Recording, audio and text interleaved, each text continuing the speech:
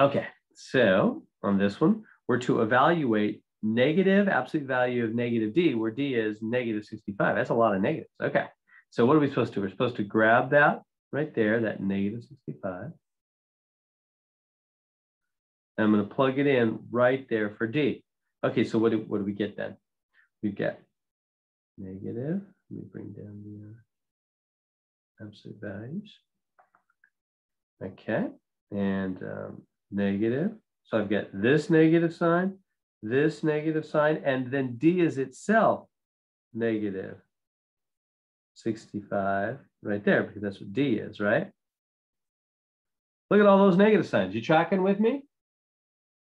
So we get the negative on the outside, we get the negative on the inside, and we get D, which is itself got another negative. Okay, well, what do we do? Well, the stuff on the outside is just going to sit there for a minute. That one out there. Right? Okay.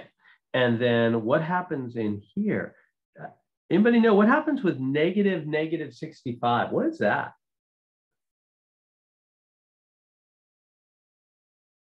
What happens when two negatives get on the 65 like that? It, it turns into a positive. Exactly. Two negatives make positive. In math, two wrongs do make a right. two negatives make a positive. Like that, don't they? That's right. Good. All right. Now, absolute values, time for them to do their job. What absolute values do?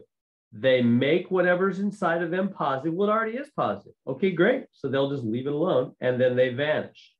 But the minus on the outside, he's still there, right? Let me make sure we're clear on that absolute value bars make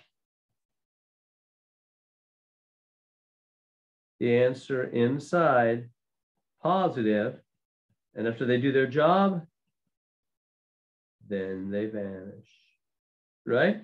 So they make whatever's inside of them positive, inside, positive, and then they vanish. So it already was positive, so they didn't really do anything, and then they vanish. They're gone. And so now what are we left with? Negative, positive 65. Now, what does that mean? Negative, positive 65. That's just negative 65, huh?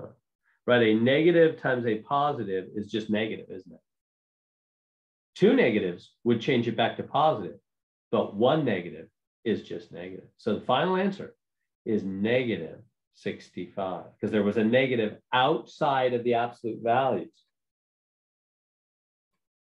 Really, we could have known that from the beginning if you think about it. Look back up here for a minute.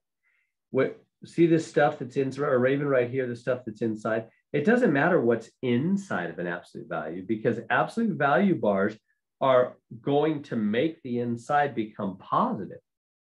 The inside, just the inside, right? Inside whatever's outside is just going to stay there. And there was a minus outside all along. So we knew for sure that minus was going to be there in the end because the absolute value is not going to change him. And so the answer had to be negative 65. So there we go.